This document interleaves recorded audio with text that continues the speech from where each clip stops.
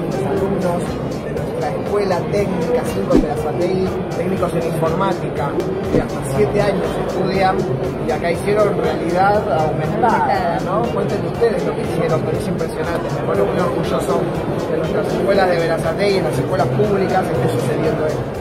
Hicimos un trabajo en el que se empieza planificando, se empieza haciendo planos en planta como se puede ver ahora.